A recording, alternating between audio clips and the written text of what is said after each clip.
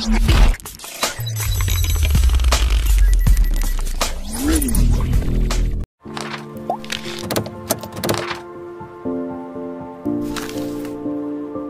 สดีครับเพื่อนๆ ใน episode นี้นะครับ ผมก็จะมาแนะนำวิธีการปิด Microsoft Defender โดยที่เราจะไม่ใช้ซอฟต์แวร์หรือตัวช่วยอะไรเลยนะครับ จริงๆแล้ว หลาย ๆ คนบางครั้งนะครับ การติดตั้งซอฟต์แวร์ก็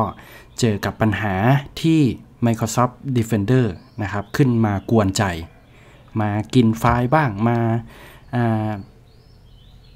ป้องกันมาบล็อกบ้างนะครับ อันนี้เราก็จะปิดตัว Microsoft Defender หรือว่าตัวแอนตี้ไวรัสที่มากับ Windows นะครับ ให้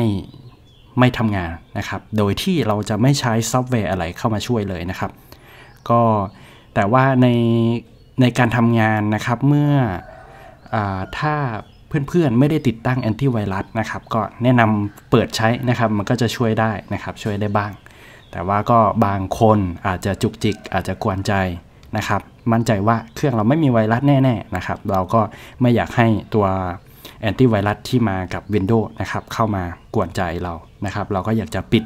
หรืออาจจะปิดชั่วคราวหรือปิดถาวรนะครับ ก็สามารถที่จะทำได้นะครับทำได้ง่ายๆครับเพื่อนๆ โอเค เดี๋ยวเราไปดูกันเลยนะครับ ไปที่ Windows R ครับ Run dialog type the name of a program, folder, document, or internet resource. นะครับ ไปใช้คำสั่ง Windows R ไปที่ Run นะครับ แล้วก็พิมพ์ gp นะครับ G P แล้วก็ edit นะครับ e d i t dot edit dot msc นะครับ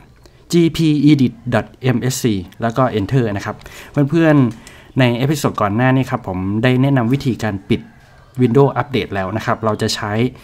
วิธีลักษณะคล้าย ๆ กันนะครับ ซึ่งตรงนั้นนะครับก็จะมีให้เราเลือกตั้งค่าเยอะแยะมากมายเลยนะครับ แต่ก็เตือนเพื่อนๆนิดนึงนะครับ ว่าถ้าหากว่าเพื่อนๆไม่ทราบความหมาย หรือไม่ทราบหน้าที่การทำงาน ก็อย่าไปตั้งค่า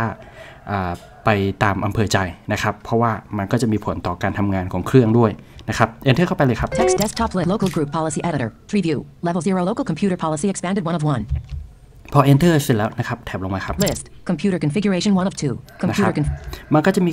computer configuration user configuration 2 of 2 computer configuration 1 of 2 ให้เราเลือก computer configuration นะครับ enter เข้าไปเลย preview list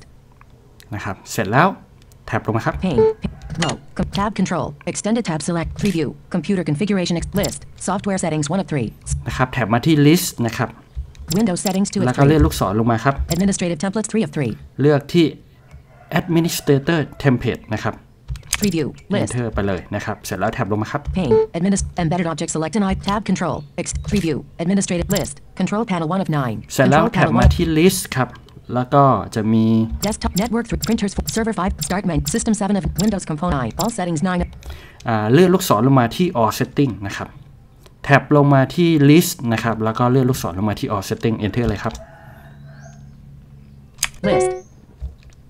นะครับ เสร็จแล้วแท็บลงมาครับ pane row tab control preview level 3 all settings 9 of 9 list absolute max cache เส ร็จแล้วแท็บลงมาที่ list นะครับเพื่อนๆ เสร็จแล้วเพื่อนๆลองกดอ่าจริงๆแล้วเราจะใช้ลูกศรลงมา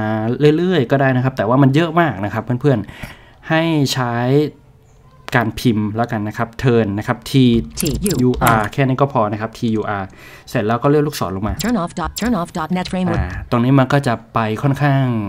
เหลืออีกค่อนข้างเยอะนะครับ เพื่อนๆ กดเพจดาวลงมาก็ได้ turn off account turn off automatic download of updates turn ลง off มาครับ cloud consumer account turn off developer tools state นะครับ not กด con- เพจดาวลงมาเลยครับ Turn off first run prompt. State. Yeah. Turn off internet file association service. Turn off multicast bootstrap. โอเค State. นะครับ Not, น่าจะเลยละนะครับ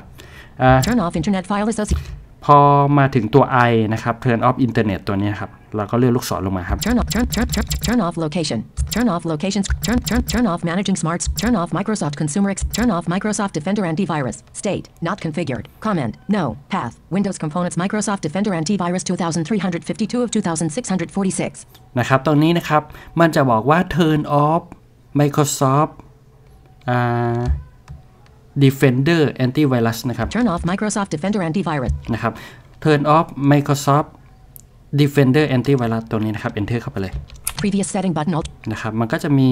ให้เข้ามาตั้งค่านะครับ แถบลงมาครับ Next setting button. Radio button check not configured. Alt plus C. Ra- อ่า radio button check not config เนี่ยมันจะเป็นค่าเริ่มต้นของ Windows นะครับ ค่ามาตรฐานของ Windows ที่เขากำหนด radio มา button check disabled. Alt plus D. Radio button checked. Alt plus D. disable ก็คือเราจะไม่ให้มันเอ่อ